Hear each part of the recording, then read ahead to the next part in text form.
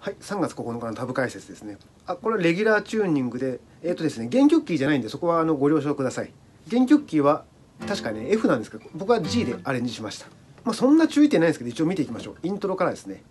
まず G は C、D7 いって、また G ですね。ただのアルペジオです。こんな感じでイントロいってもらって、ここのハンマリングしっかりですね。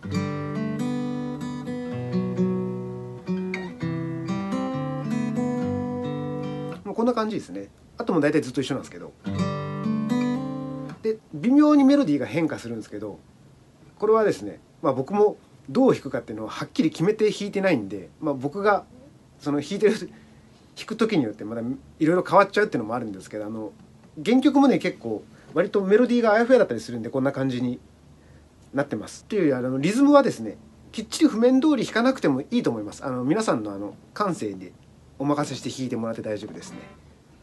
5小節目からいくと僕はこんな感じですね。中指と人差し指ハンマリングです。こうか。僕はこんな感じで押さえてますね。で C メジャーセブン僕はこんな感じです。薬指人差し指中指で押さえてます。この押さえ方結構出てくるんでプリングでで G と。もう大体ずっと一緒です。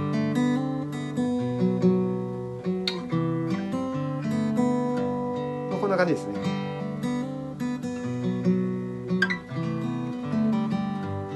うん、で B セクション。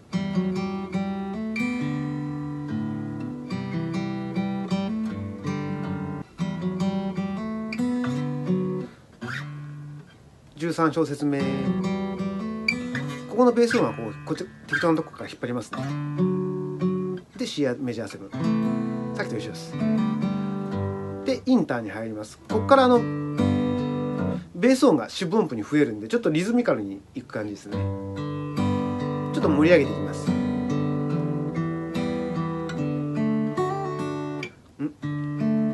ここもちょっと難しいかもしれないですね。僕はここをですねあの D の形で押さえといてこの小指でハンマリングプリングですね、うん、で C C4BAm7 D7 ここで親指で、えー、2フレットのベースを押さえてます。親指で押さえるのきつい人は、まあ、ここはね多分ねいけると思うんですけどもしきつい人はこれ一回入れ替えないといけないですね、うん、で A セクションに入るんですけどもうほほとんど一緒です。あのベース音が一発増えてるだけです。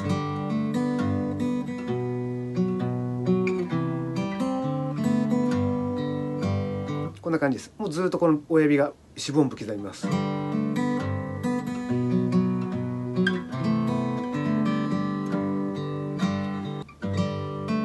こういうハンマリングと同時にこうベース弾くとこあるんでここ気をつけてですね。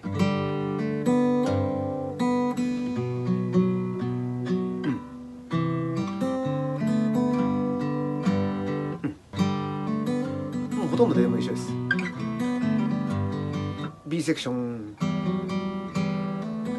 もさっきと一緒ですベースが増えてるだけです。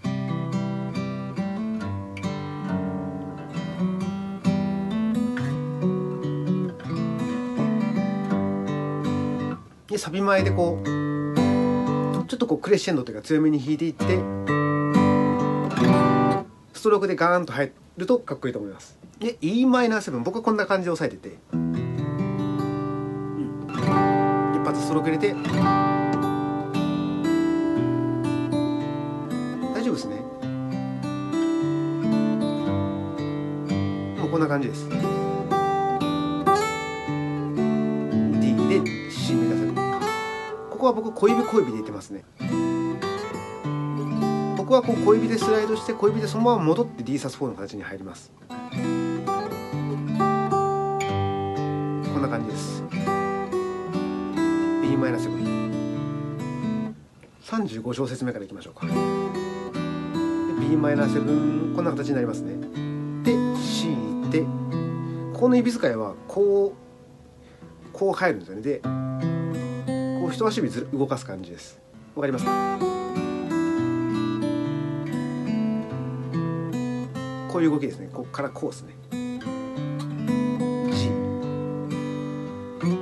で4フレットにこうこうグッと引っ張って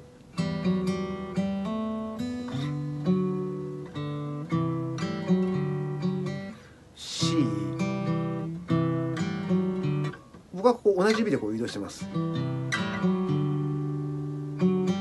すね。でこうちょっとクレッシェンドでまた盛り上がっていきます。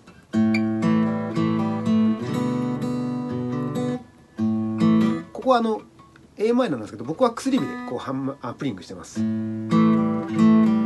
そのまま b マイナー7に行ってで C です。僕ですけどこれは僕は小指でこうスライドして3フレットの時にもう制覇しちゃいます。制覇してこうか。でここで小指ハンマリング。中指ハンマリングでもうこれで C マネーの形になってるんでそのままストロークです。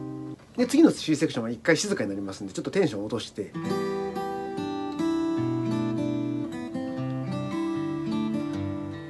と静かな感じで。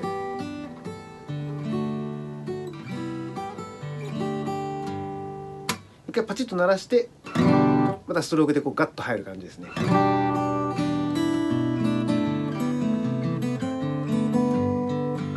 さっきと一緒です。でスライドそのままスライドしてこれも一緒ですね。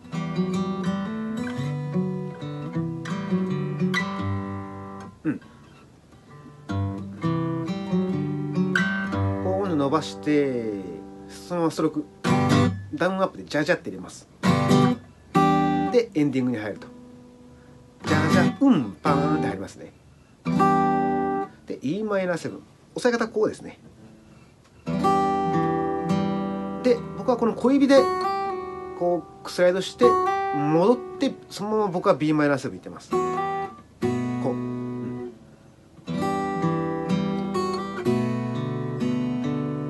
あとはもうそのままアルペジオです。C メジャー7ここも小指でスライドして小指で戻ってます。G これを繰り返す感じです。一緒です。ほぼ一緒。うん。ここもあの小指がずっと一弦についてるような感じになりますね。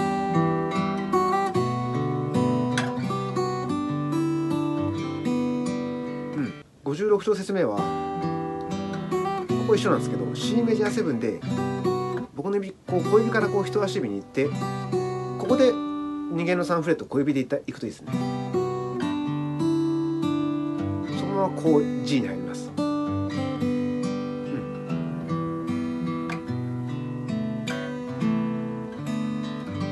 で終われば。ということでぜひやってみてください。どうもリゾでした。